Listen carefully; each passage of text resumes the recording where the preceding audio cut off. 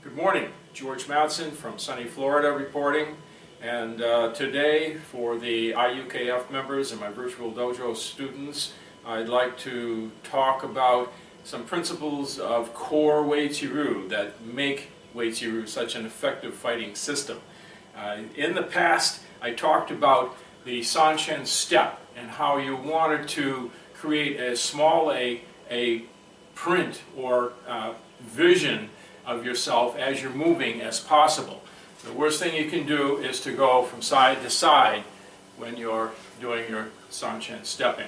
So this requires a little bit of hip action, but the upper body sort of just floats up on your opponent. And uh, same thing with punches. I always talk about you can have a very powerful punch, but always try to keep it on that straight line. All right. We use hook punches, very very effective techniques, but it gives your peripheral vision, it gives your vision an opportunity to pick up more points and draw your attention to that punch. So it's easier for, for you to, or your opponent to uh, evade it or to block it.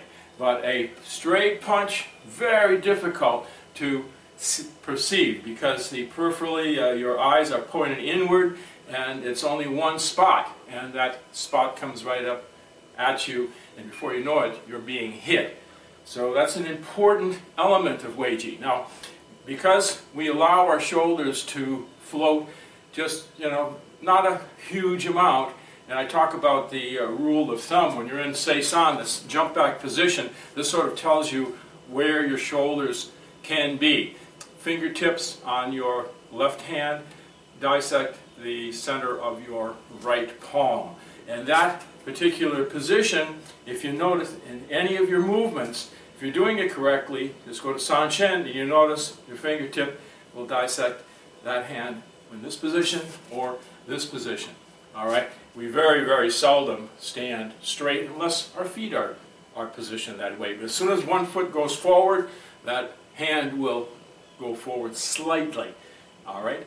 Half a palm length, that's the extent of the extension of the movement.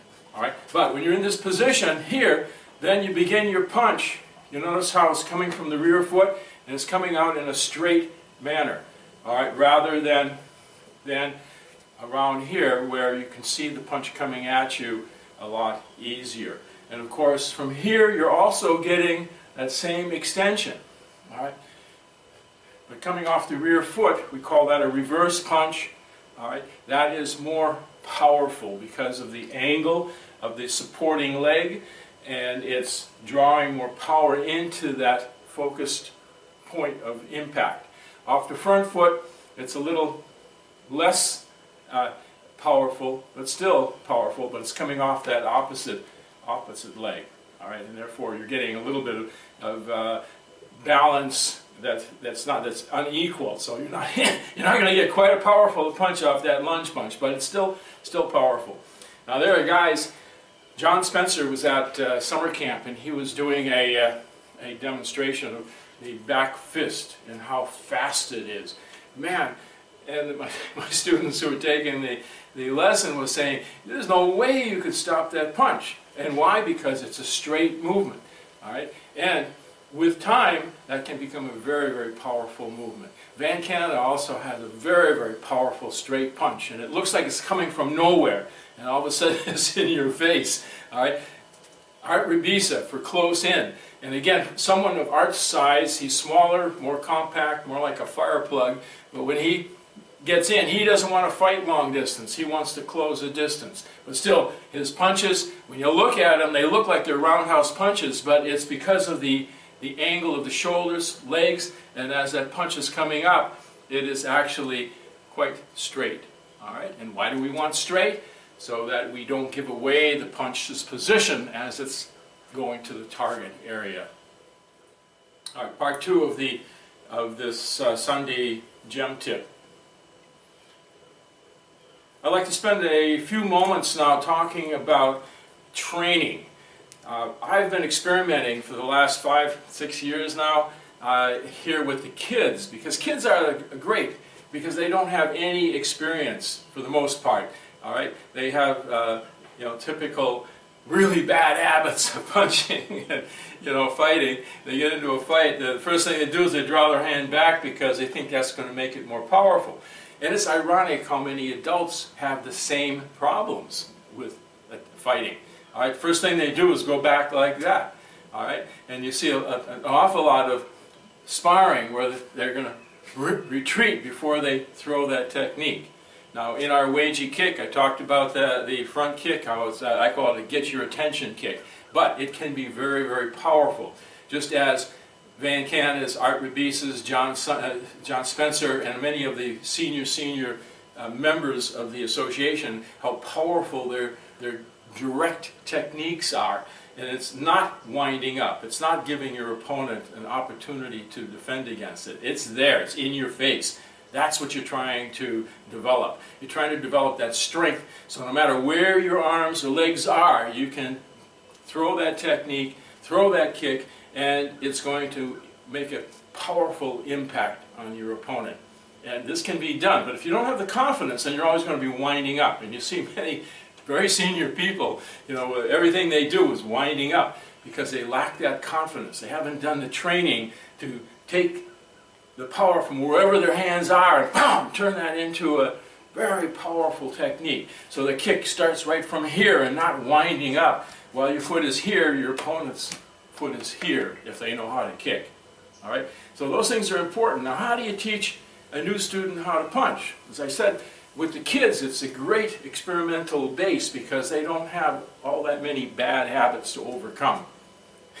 Once uh, one student asked me, and I may have mentioned this before, so how long is it sensei going to take for me to, to uh, uh, get rid of this bad habit, you know, and how long is it going to take me to learn that technique that you just gave me? And, and I tell him, I said, well, if you're a white belt, it would take probably six months, but because you're a black belt, it's going to take you three years. Because you have to undo what they were doing. And that's a, that's a hard lesson to, to swallow, you know, when you have to start undoing things. That's why core Uechi.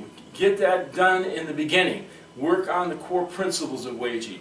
Sanchin took three years for Kanai or Kanbun to, to learn before he was advanced into other kata, into other things. And that's because the principles of Sanchin, once these things were ingrained and embedded in the, in the soul of his of, of Kanbun, at that point, anything that he added to that was simple, just adding things to it.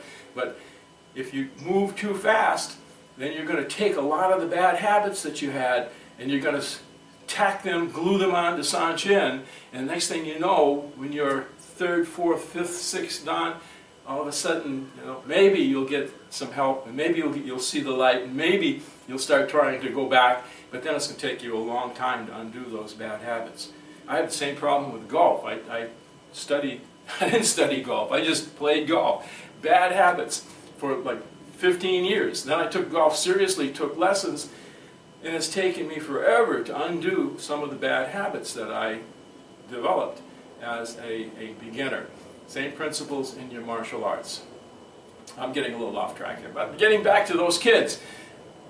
What I do is I work with them on a principle, soft hands, slow motion. And what they do is they learn to target. They learn to hit face, cheeks, not the nose, body, and they kick the legs, but everything is by, by consent. So before they start their sparring session or their training session, the first thing they do is they go and they punch their partner and say, you know, this is how hard I'm going to punch and kick. Is that okay? If he gets the approval, then the opponent or this partner will do the same thing to him. So now they know what's the worst thing that could happen to them. And that builds confidence in them. They're not afraid now to get hit. And then you work, you take turns. One person doesn't defend himself. That's very important. First thing, you know, you're doing slow, it's easy to evade, easy to block. But the first thing you want to do is learn to take that blow. What does that blow feel like? You're not going to get hurt. If the first time you get hit in the face is with gloves and you're going full out, man, you, you think you're dead. You think you're, you're really gonna, you're hurt. All right, and that's because you've never been hit there. You, you don't realize that you can take a punch to the head. And of course, with a little bit of knowledge, you don't close your eyes as the punch is coming at you. So little movement like that will deflect most of that blow. And these are things you've got to learn in the beginning. You can't take someone who has no sparring equi- uh, experience, put the gloves on them with an opponent, and all of a sudden they're throwing full speed punches and kicks. At that point, they're starting to close their eyes when they see that punch coming at them, and then they, they, you know, they lose confidence. They get, they feel they've gotten hurt because they're getting hit by something they've never been hit with before. So with the slow speed, soft hands, which as you know is not an unclenched fist, all of a sudden they're getting hit in the face. And it's not, you know, it's hurting a little bit, they, get, they feel it, but it's not killing them. All right, they're getting hit in the body, they're getting hit in the legs. At that point, they can move through it. They can move while they're evading. They can do all kinds of things. And this first level, that's what they're doing. They're envisioning, what can I do as that punch comes at me and it's hitting. You got all that time that you can say, oh wow, that would have been easy to block. That's an easy one to evade. All right? Then you do the same thing, slow speed, soft hands, but this time you check. You check block with a minimum kind of movement, little bit evasive turn. All of a sudden you're, you're getting hit with techniques that aren't full strength. Even though it's slow speed, you're still, you know, you're still getting hit. All right. By the time you work up to this, this gradually, you put the gloves on, foot pads, and now you start to spar. Start slowly, and then just work work up. All of a sudden, you get hit in the face. You got all that time, and you find that the blows that you do get hit with aren't going to hurt you all of a sudden you you realize, hey, face blows, that ain't no different than getting hit in the body. It's just it's just another blow. But the point is, as you are building up this confidence, you're also building up ability and the talent and the skills to evade. Evading these movements is so important. All right, little check block positions, maintaining your Sanchin position, targeting. This is what I teach brand new students. Target. Don't throw a punch unless you have a target. All right, a target. Just hitting arms and legs, you know, to you know to throw a technique. You got to understand. Every time you throw a technique, you've created a weakness. All right. You better be in control during your fight all times. You throw that technique, it has to hit something. It has to has to do some destruction. All right, and you learn that in the beginning, so that when you get to the point you put gloves on and you're actually going at it full speed, all of a sudden you're using your Uechi-Ryu. And we don't see that very often in sparring because dojos don't do that. They don't teach that way. They just reach a certain level and then they throw the gloves on and now it's just that cat and dog fight. Ain't the way to do it. All right? So I hope this, this is sort of a, a, training scenario will, will help you develop a, a, a method of taking your brand new students and working them through these steps. But the steps are very important to maintain. And let me know how you're doing. Okay, let me know if it works for you. Works for me, and I hope it works for you too. All right, see you next month.